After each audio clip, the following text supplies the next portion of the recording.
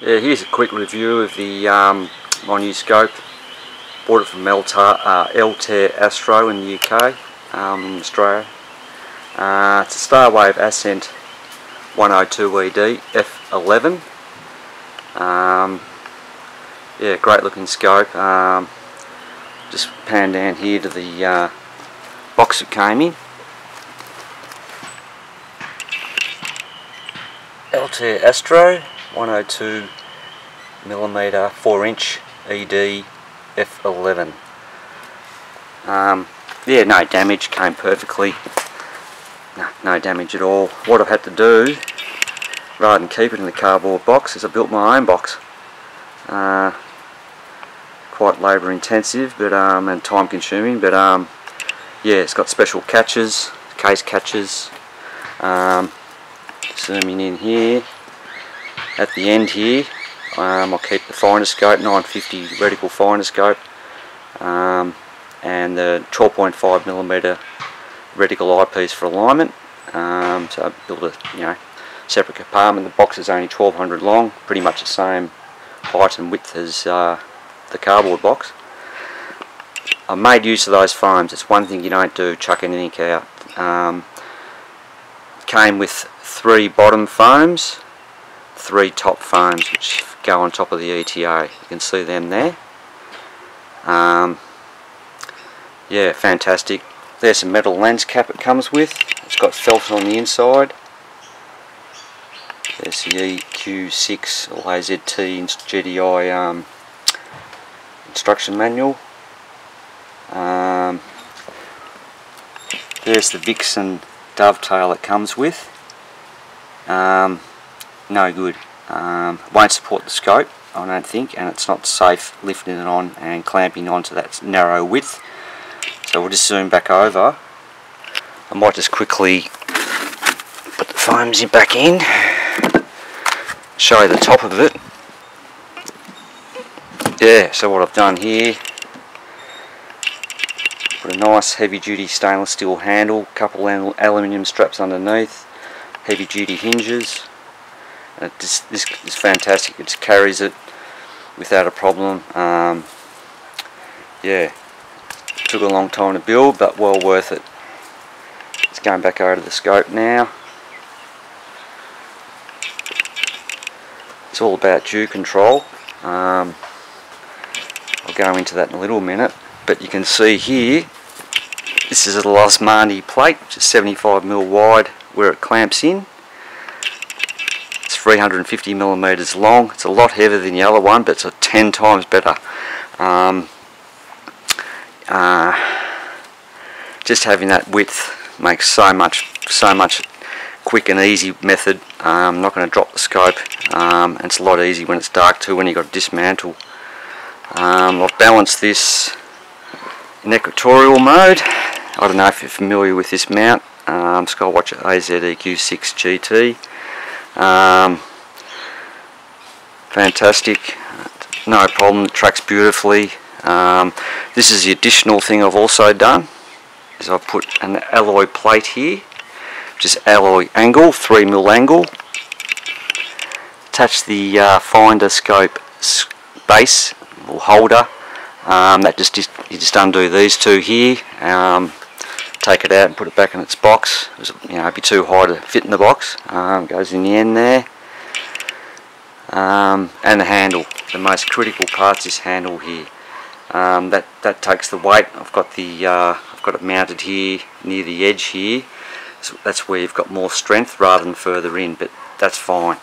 So all you do is you lift this on, lock it on here with these two lockdown screws. Typical Skywatcher heavy duty you know, fantastic. Okay, so just coming down here, I used um, all two inch eyepieces, except for a reticle, um, which is an inch and a quarter. It's got a, I've got a nine millimeter Morpheus in there at the moment, and that gives me 124 times. Um, yeah, fantastic eyepiece, 76 degrees. Um,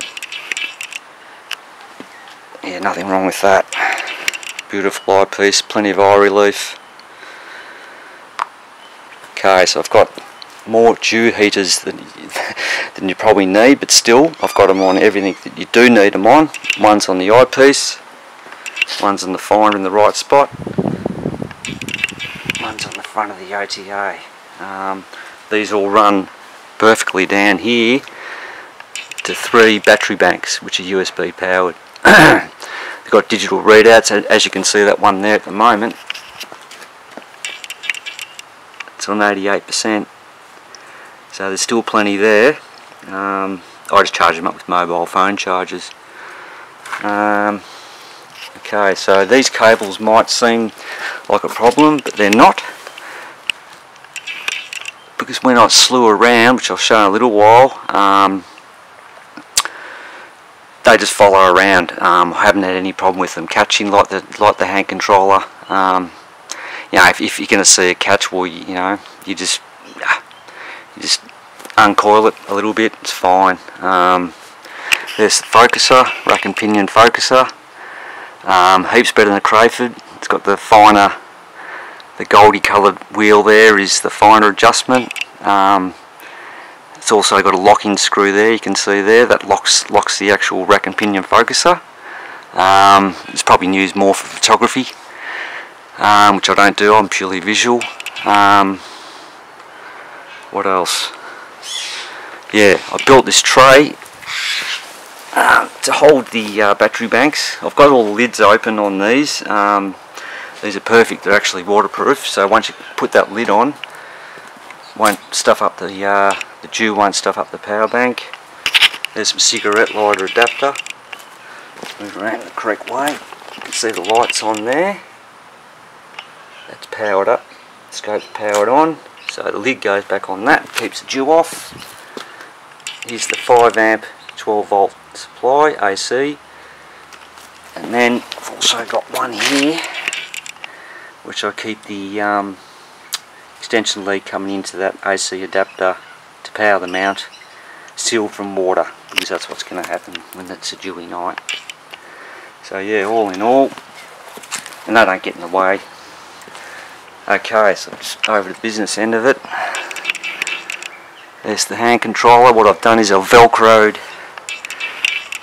the hand controller to the top here and the holder just stays in the same position. Um, hell of a lot easier having it, you know, where it is than down lower or on the leg or something. It just seems to be the ideal spot. Plus it gives you more cable length when it's higher up towards the mount.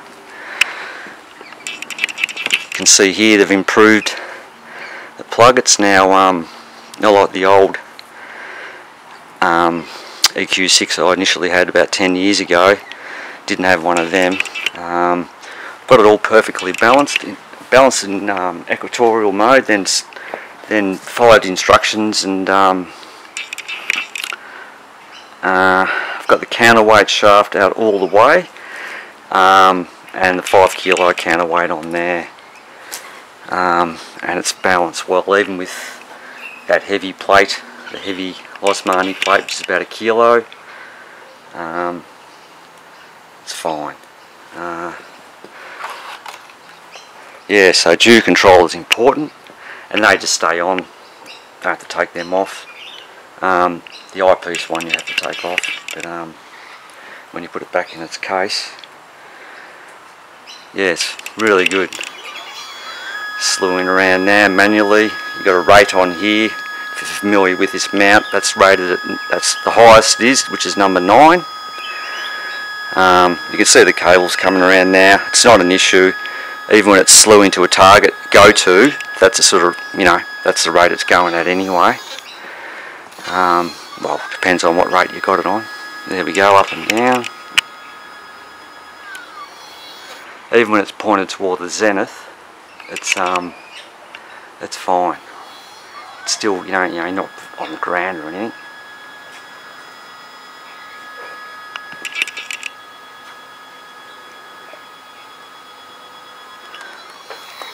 Yes. So all in all um, put that in properly. Always catches on the bottom there a little bit. All in all it's a, all in all it's a great thing. Great mount great scope. Very impressed with it. Um, before I switched it on. I set it to north so it's pointing directly north. I'd use a compass or your mobile phone